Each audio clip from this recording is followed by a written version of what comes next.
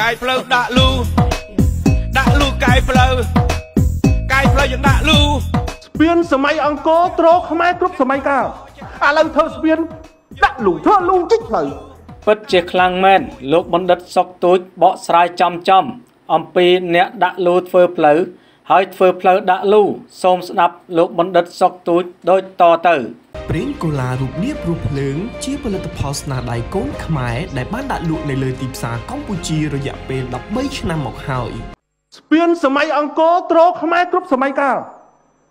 ហេតុអីសម័យអង្គរអត់មានរថក្រោះអត់មានឡាន មានតែទឹមតម្រៃហើយទៅធ្វើស្ពានកំពង់ក្រីឲ្យឡានបើកបានឲ្យរថក្រោះបើកបានឥឡូវធ្វើស្ពានដាក់លូធ្វើលូជីកផ្លូវ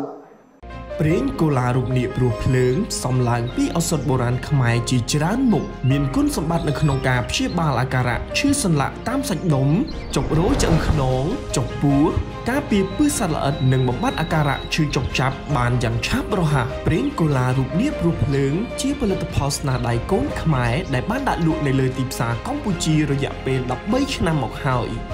មានប្រេងកូឡារូបនាបរស់ភ្លើងដូចមានគ្រូពេទ្យប្រចាំកាយដ៏ស័ក្តិសិទ្ធិ